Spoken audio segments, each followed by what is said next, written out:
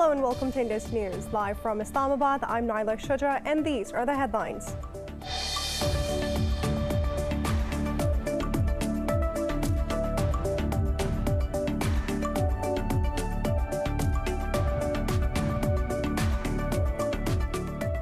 The Buckingham Palace says Prince Philip has died at the age of 99 at Windsor Castle. He was hospitalized earlier this year and underwent a successful heart surgery.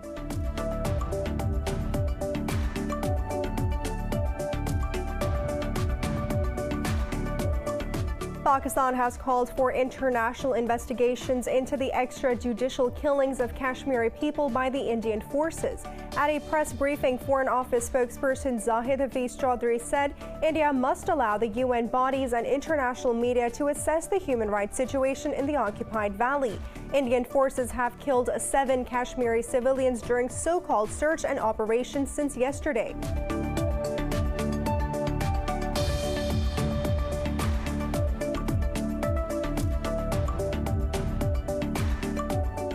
Myanmar troops have killed 10 more people after they opened fire on protesters rallying against the February 1st coup near Yangon.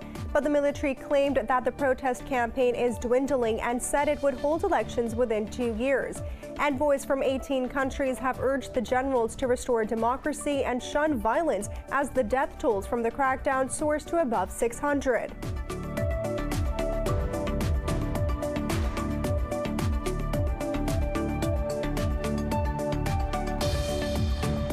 Iran's Foreign Minister Javad Zarif has once again called for the lifting of U.S. sanctions. Zarif wrote on Twitter that Iran will honor the 2015 nuclear deal once the U.S. returns to the accord. His tweets come after China and Russia and the EU said progress has been made during the second round of talks to revive the deal in Vienna. They said all sides would reconvene next week.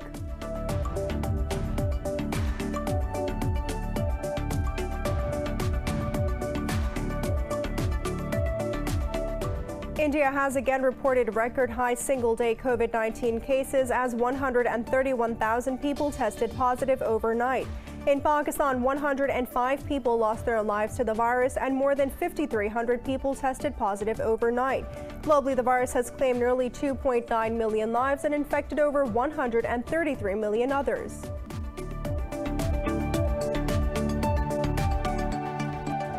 More news and details, stay tuned. We'll be right back after a short break.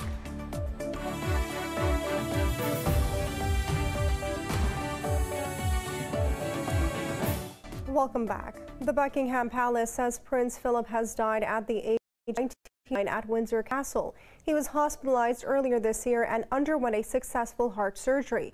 Philip played a lead figure in the British royal family for nearly seven decades. Condolences started pouring in from around the world as soon as the news of Prince Philip's demise was reported. British Prime Minister Boris Johnson says he would be remembered for his steadfast support for the Queen. U.S. President Joe Biden paid a rich tribute to the prince, saying his legacy will live on not only through his family, but in all the charitable endeavors he shaped. Canadian Prime Minister Justin Trudeau, German Chancellor Angela Merkel, and the leaders of Australia and New Zealand also extended their condolences to the royal family. In his condolence message, Pakistan's Prime Minister Imran Khan said Britain has lost a wise elder. Prince Philip married Princess Elizabeth in 1947 and played a pivotal role in modernizing the monarchy in the post World War II period. His last appearance came in July last year at a ceremony at Windsor Castle, where he and the Queen have resided during the lockdowns. Pakistan has called for international investigations into the extrajudicial killings of Kashmiris by Indian forces. At a press briefing, Foreign Office spokesperson Zahid Hafiz Chaudhry said India must allow the UN and international media to assess the human rights situation in the occupied valley. The call for the probe comes after Indian forces killed seven people during so-called search operations in 24 hours. The region has been under a curfew and communications blackout after India revoked its special status in August 2019. Hundreds of people have been killed since then. In Myanmar, security forces have shot dead another 10 protesters in the city of Bago near Yangon. According to a rights group, the military has killed over 600 protesters and detained nearly 3,000 since the February 1st coup. Despite the violence, civilians across the country are rallying again today against the military coup. But the junta claims the protest campaign is dwindling since people want peace. In a news conference, a junta spokesperson said government ministries will resume full operation soon. Brigadier Zaw Min Tun said that the election must be held within two years. He said reports that the international community did not recognize the military government are fake. Meanwhile, 18 envoys to Myanmar issued a joint statement calling for the restoration of democracy. Iran's Foreign Minister Javad Zarif has once again called for the lifting of U.S. sanctions. Zarif wrote on Twitter that Iran will honor the 2015 nuclear deal once the U.S. returns to the accord. His tweets come after China, Russia, and the EU said progress has been made during the second round of talks to revive the deal in Vienna. They said all sides would reconvene next week. The talks are being intermediated by the EU. But the U.S. and Iran do not expect fast breakthroughs in indirect negotiations. Seoul says Tehran has released the South Korean ship and captain it detained amid a dispute over frozen funds. This came hours before the start of negotiations between Iran and world powers in Vienna over the nuclear deal. In a statement, Seoul's foreign ministry said the staff is in good health and the ship has departed Iran. There has been no confirmation from Tehran yet. Iranian authorities seized the Hankuk Chemi and its multinational crew of 20 sailors in January. They accused the vessel of polluting the Strait of Hormuz. Tehran has repeatedly denied that the seizure of the vehicle was linked to the funds issue. Iran says it will undoubtedly respond to the attack on its ship in the Red Sea once it identifies its culprits. The Saviz was hit by a limpet mine on Tuesday and has allegedly been used by Iran's Revolutionary Guards as a command and control center. Iran's military spokesperson said that Iran will make a move after its investigations are concluded with utmost accuracy. In an interview, the spokesperson said Iran suspects Israel and the U.S. to be the perpetrator of the attack. He said U.S. has been involved in all attempts to undermine and harm Iran. However, the U.S. earlier denied responsibility for the attack. Yemen's Houthis rebels claim that they have hit Saudi warplanes in an armed drone attack at the Jazan airport. However, the Saudi-led Arab coalition has denied the claims, saying it destroyed the drone before it could hit its target. In a statement, coalition spokesperson Turki al-Maliki said that the drone was intercepted over Yemeni airspace. The spokesperson added that it's Houthis' second such strike within a day. Meanwhile, Houthi spokesperson said the designated target has been hit with high precision.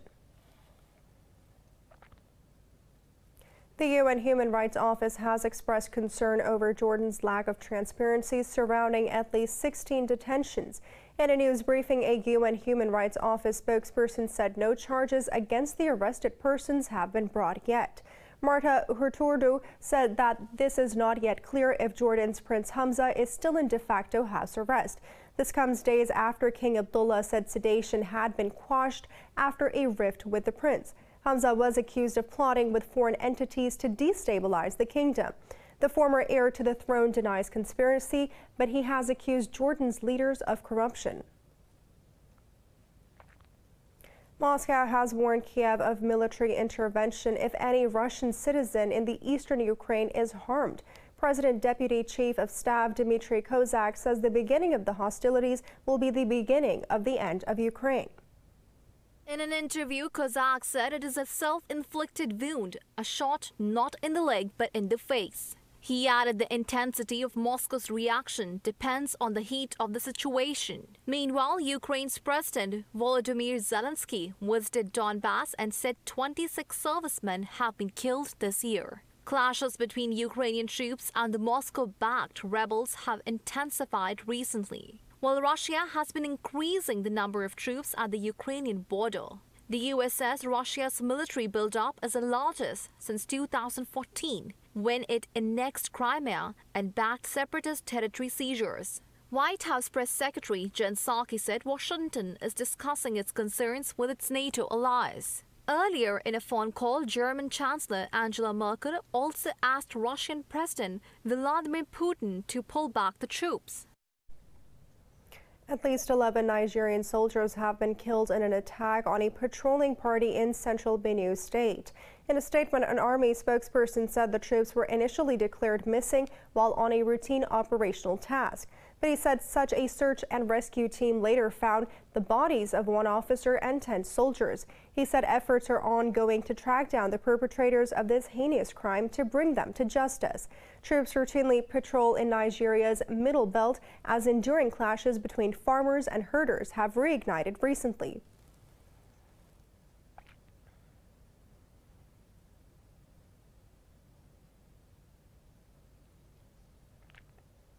India has again reported record high single day COVID 19 cases as 131,000 people tested positive overnight. Globally, the virus has claimed nearly 2.9 million lives and infected over 133 million others. More in this report.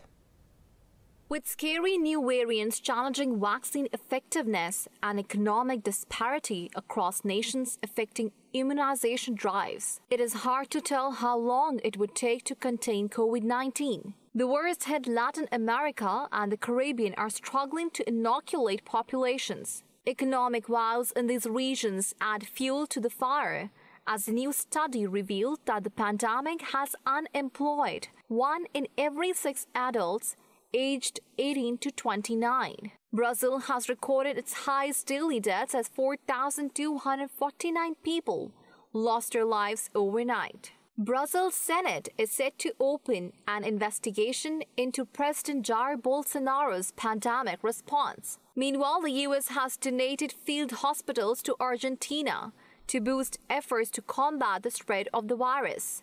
This ceremony highlights the steadfast partnership between the United States and Argentina in combating COVID 19. The Western Hemisphere is our shared home our neighborhood. And what we're doing here is being good neighbors and assisting each other. The United States and Argentina share the same democratic values, such as respect for the rule of law, free and fair elections, and human rights. Although the UK's vaccination program and the lockdown have led to a 60% drop in infections, the World Health Organization has warned that it is not enough to protect Britain from another wave. Netherlands, Portugal, the Philippines, and Australia are the latest countries to limit the use of the AstraZeneca vaccine, dealing further blows to the company's hopes to deliver a vaccine worldwide. The planning from the vaccination. We do not expect this to have a major impact on the vaccination operation. We are aiming to have given at least a first shot to people with an increased risk. So everyone who is 60 or older and people with an increased medical risk by the second half of May. We do not expect any major changes to that plan. Australia has already announced plans to purchase 20 million doses of Pfizer's vaccine. Meanwhile, India is investigating potential domestic cases of blood clots as a side effect of vaccines. COVID 19 has claimed another 105 lives in Pakistan and infected over 5,300 people in the past 24 hours. The health ministry says the nationwide death toll has reached 15,229. It said the country's positivity ratio has dropped to 9.66%, but the number of active cases is approaching 70,000. The ministry said a total of nearly 711,000 cases have been detected so far. It noted out of these, almost 626,000 have recovered. Meanwhile, Pakistan's Drug Regulatory Authority has granted emergency use authorization to the third Chinese vaccine, CoronaVac. It's now time for a short break. Stay with us.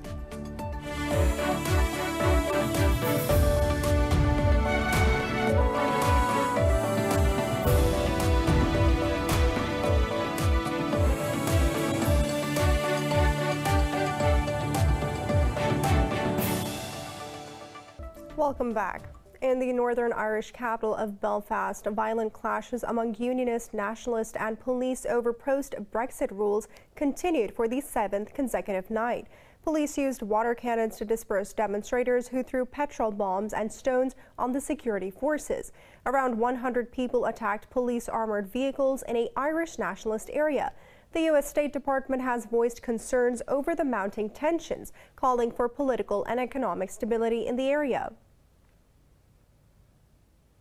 Um, as I said before, President Biden has been unequivocal in his support uh, for the Belfast uh, and Good Friday Agreement, uh, which was an historic uh, achievement. Uh, we believe that we must protect it, uh, and we believe that we must ensure it doesn't become a casualty of Brexit. Turkey has summoned the Italian ambassador over the Italian premier's remarks about President Tayyip Erdogan. Mario Draghi has called the president of Turkey a dictator at a news conference on Thursday.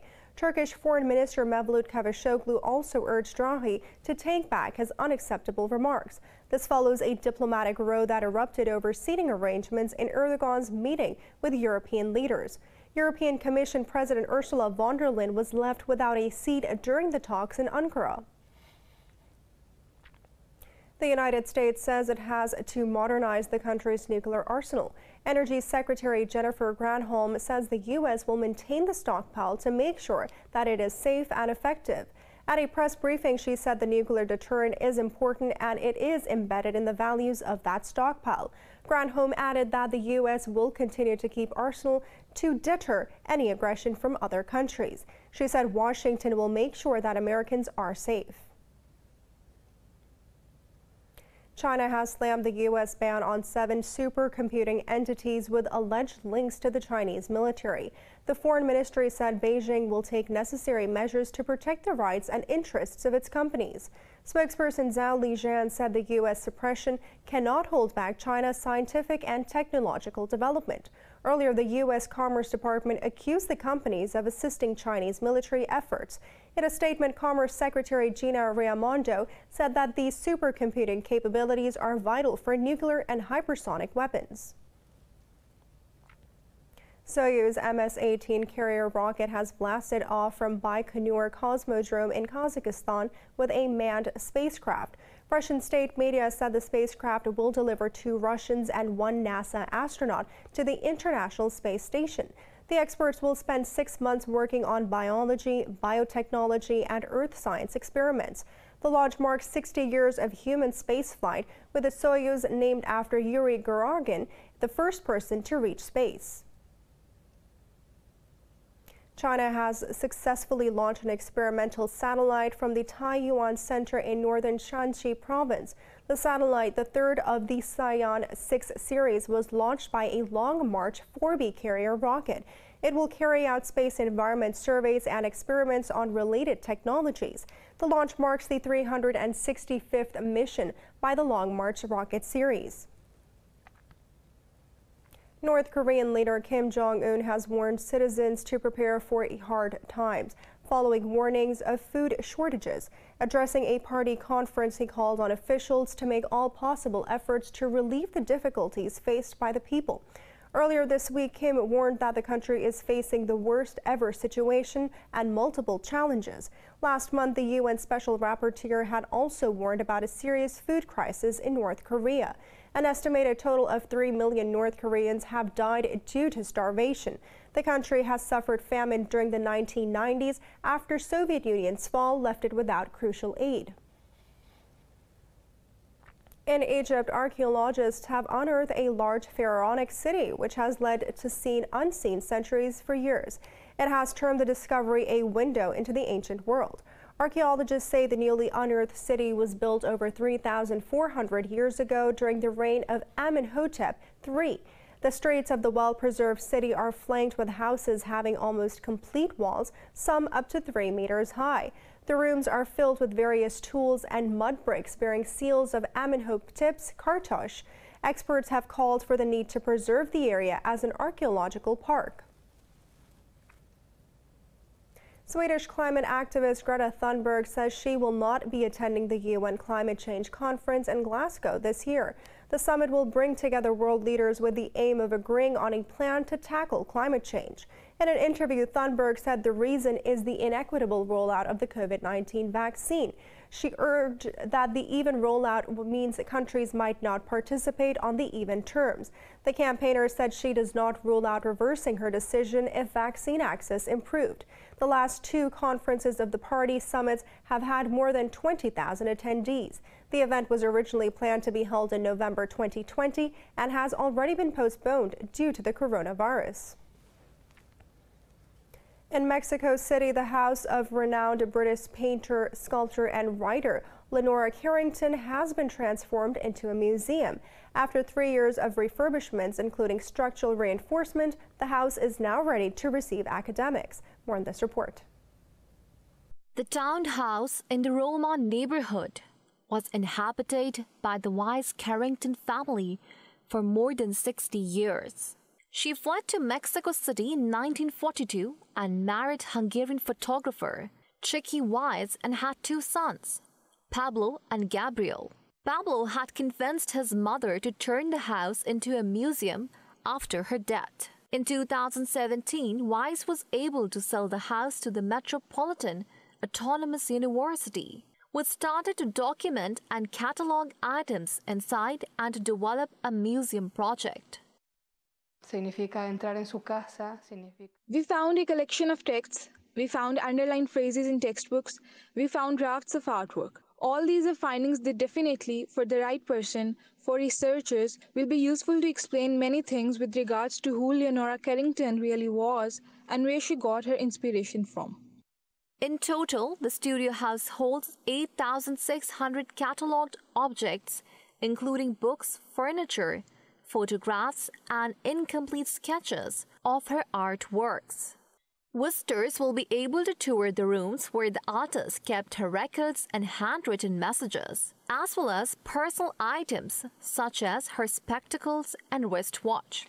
The university hopes the museum will become a useful source of information for students and academics.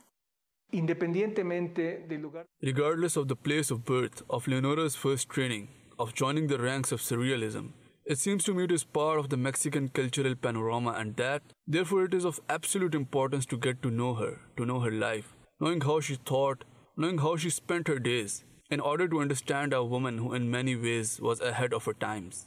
Carrington's work was among the best selling for a living surrealist. She is famous for her paintings of women and mythical beasts. A rebellious aristocrat, she also went on to win international recognition as a sculptor, painter, and writer. Christie's auction house sold one of her tempera on wood panel paintings for $1.48 million in 2009. It's now time for a short break. Stay with us.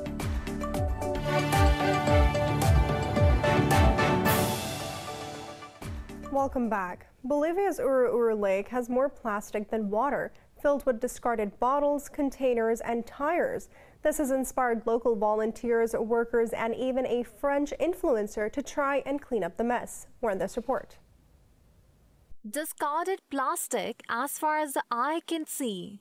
This is a dystopian image reflecting years of human pollution at the Uru Uru Lake. The lake suffered a drought in 2016, lowering its water levels and causing the rivers flowing into it to deposit mountains of plastic waste. It has prompted hundreds of people to gather up waste from the surface of the lake. It's a shame that so much garbage has come here because it has accumulated in many years, perhaps a decade. Now we have to think about the future. Let's clean and then we become aware so that we don't have to clean again.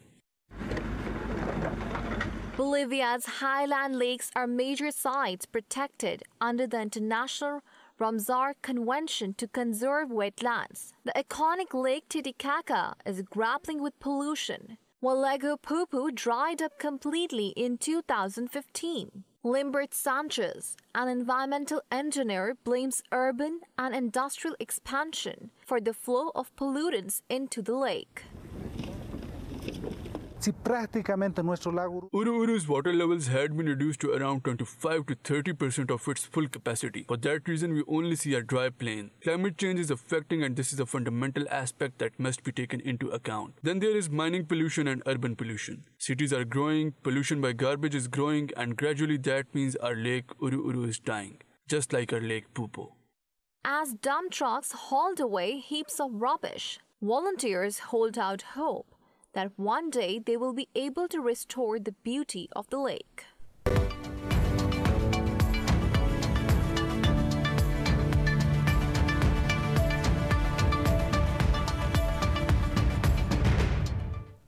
The Wall Street stocks have opened higher as the markets wrapped up the week on solid gains. The banks and the industrial shares have gained on optimism around the strong U.S. economic growth. The indices of S&P 500 and the DJI traded fractionally up, but Nasdaq Composite was down over quarter of a percent. Moreover, President Joe Biden is set to release his first budget proposal to Congress later in the day. Meanwhile, oil prices edged up in early Asian trade as investors weighed the impact on fuel demand from the COVID 19 pandemic.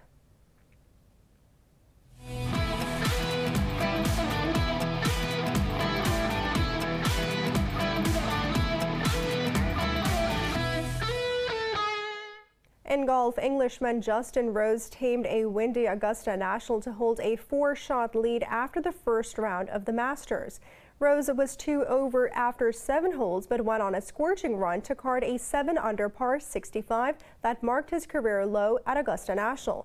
This left him four shots clear of his closest pursuers, Japan Hideki Matsuyama and American Brian Harman. He was one of the only three players in the field to break 70 in the opening round. Meanwhile, defending champion Dustin Johnson was among a number of top players who struggled in challenging conditions. Climbing will be making its debut at the Olympics by being part of the Tokyo Summer Games scheduled for this summer. Team USA will be sending four young climbers to compete at the event.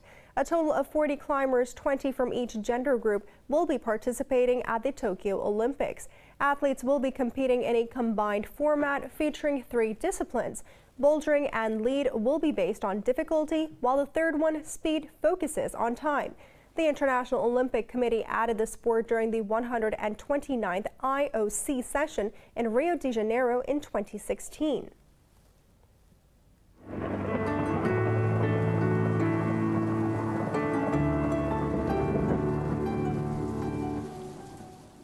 It's now time to take a look at the weather around the world.